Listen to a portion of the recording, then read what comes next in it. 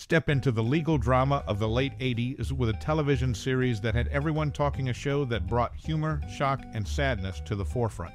Remember that classic Hollywood actor you couldn't get enough of? Well, they've got a role worth revisiting in this timeless series. Who was your favorite among the many characters in this legal roller coaster? L.A. Law, with its blend of courtroom battles and personal dramas, offered a cast of characters that left a lasting impression. So, which role stands out in your memory? The courtroom, the law firm's corridors, the intense negotiations? Share your favorite in the comments below. As you binge watch, get ready for the unexpected, funny, shocking, and sometimes heart wrenching facts that will keep you glued to the screen. And here's a heads up more surprises are coming your way, so keep those eyes peeled. What's your most cherished memory or personal experience related to this classic TV series? We're eager to hear your stories, so drop them in the comments and let's reminisce together.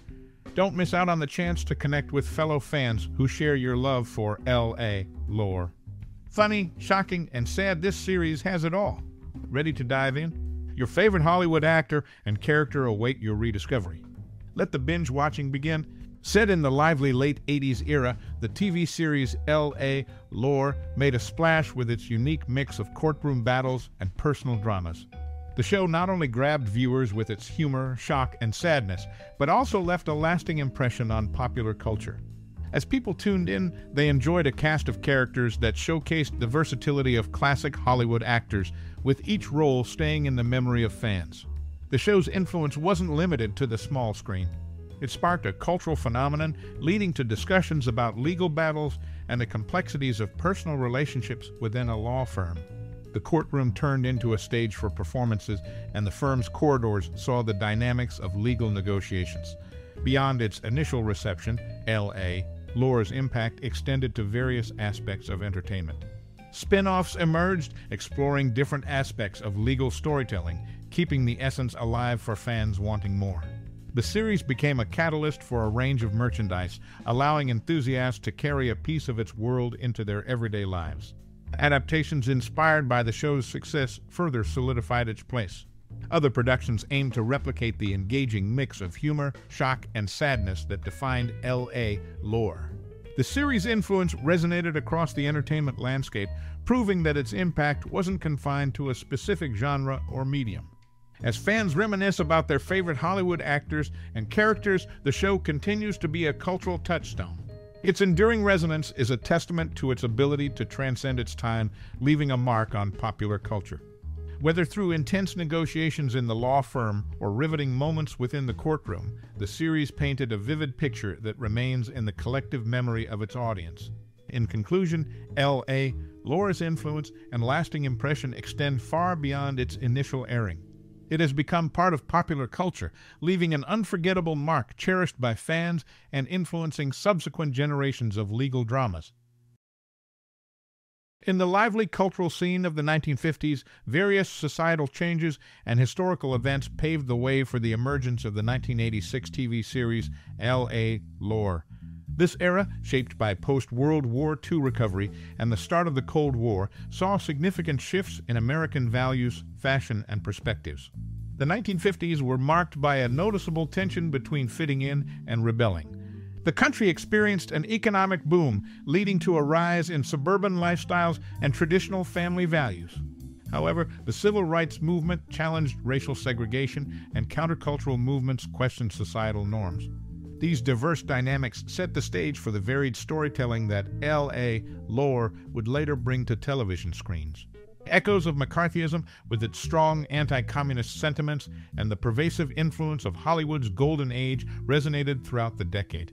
Against this backdrop, the series' exploration of legal battles and personal dramas gained significance. The courtroom became a microcosm reflecting societal conflicts, mirroring the struggles for justice and equality that defined the era. Additionally, the show drew inspiration from the changing role of women in the workforce during the 1950s. As women increasingly entered professional spheres challenging gender norms, L.A. Law portrayed the complexities of gender dynamics within the law firm. This nuanced reflection of societal changes added depth to the characters and their relationships, making the show relatable to audiences navigating their own shifting cultural landscape. The influence of the 1950s extended beyond thematic elements to the very structure of the show. The classic Hollywood actors in L.A. Law brought with them a sense of nostalgia, connecting viewers to the cinematic styles of the past. The series cleverly intertwined the charm of the 50s with the complexities of the 80s, creating a timeless quality that captivated audiences. In essence, L.A. Law harnessed the cultural and historical undercurrents of the 1950s to craft a narrative that resonated with the diverse experiences of its viewers. The show, influenced by the social, political, and cultural shifts of that era, became a mirror reflecting the complexities of the human condition against a backdrop of legal battles and personal dramas. In a groundbreaking moment during its fifth season in early 1991, L.A. Law stirred controversy by featuring a kiss between two female characters, Abby and the newcomer CJ. This marked the first instance of such a moment in a primetime American series, making it a significant milestone in television history. After the cancellation of his series Civil Wars, William M. Finkelstein assumed the role of executive producer for L.A. Law. Notably, he brought two characters from Civil Wars attorney Eli Levinson and his secretary Denise Iannello seamlessly into the dynamic legal landscape of L.A. Law, enriching the series with fresh narratives. Adding a personal touch to the behind-the-scenes connections, Alan Rachins, a key figure in the series, happens to be the brother-in-law of Stephen Bochco. Rachins, married to Bochco's elder sister Joanna Frank since 1978, further intertwines familial bonds within the creative elements of the show. These pivotal moments and connections not only highlight the series' progressive stance, but also showcase the fluidity and adaptability of its narrative structure. L.A. Law continues to be remembered not just for its on screen impact, but also for its ability to embrace change and introduce characters that seamlessly integrate into its evolving storyline. Amid the legal turmoil of the late 80s, L.A. Law unfolded a unique narrative that resonated beyond the courtroom.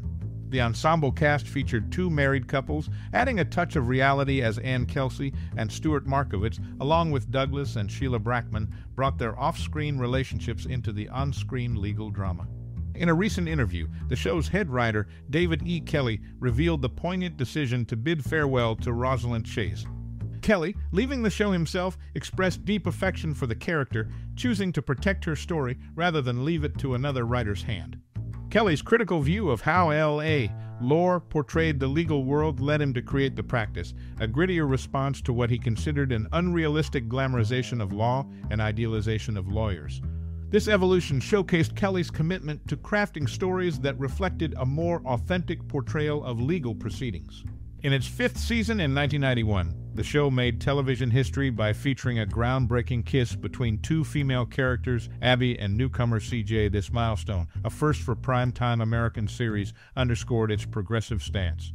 William M. Finkelstein, taking the reins as executive producer after the cancellation of his series Civil Wars, seamlessly integrated characters Ellie Levinson and Denise Iannello into the L.A. Law landscape. This not only enriched the series with fresh narratives, but also demonstrated its adaptability to change. Adding a familial layer to the behind the scenes dynamics, Alan Rachins, a key figure in the series, is the brother in law of Stephen Bochco, the creator of L.A. Law. This interweaving of family bonds into the creative fabric of the show exemplified its ability to embrace connections both on and off screen. In reflection, the show's influence extends beyond legal battles and personal dramas.